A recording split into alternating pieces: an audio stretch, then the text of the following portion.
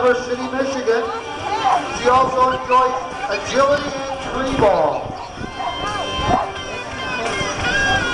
There's a lot of different sports out there for dogs right now, and we want to thank those guys for getting involved in a lot of those. A lot of those sports are actually uh, sanctioned by, by the Ultimate, by the United Kennel Club.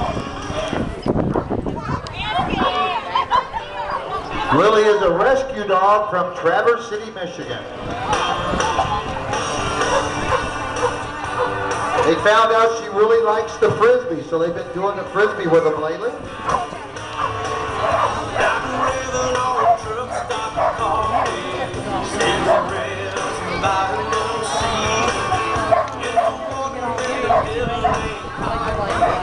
Thank you.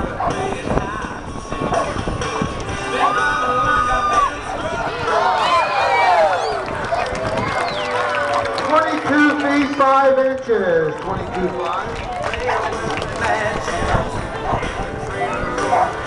Nice first jump by Lily.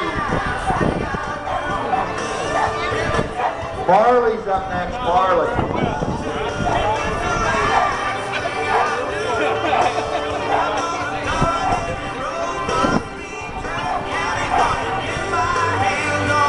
We're going to have to talk to the Wine Festival about getting some bleachers for next year.